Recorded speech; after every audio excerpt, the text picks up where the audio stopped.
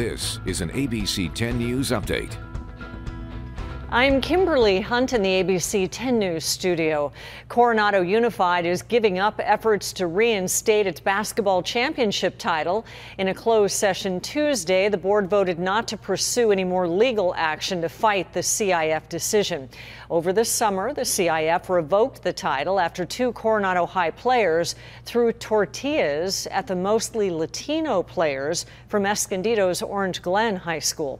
CIF recently denied Coronado Coronado Unified's appeal. A positive sign for gas prices. The average price for regular in the county fell nearly a penny Wednesday.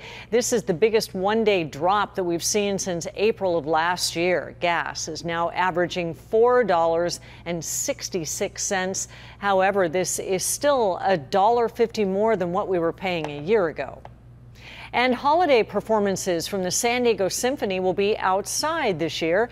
The Symphony says three of its traditional holiday performances will be at the Rady Shell along the Embarcadero. They'll also play the score during showings of Frozen and the Muppet Christmas Carol. It's recommended to bring a blanket since there won't be any outdoor heating at the venue.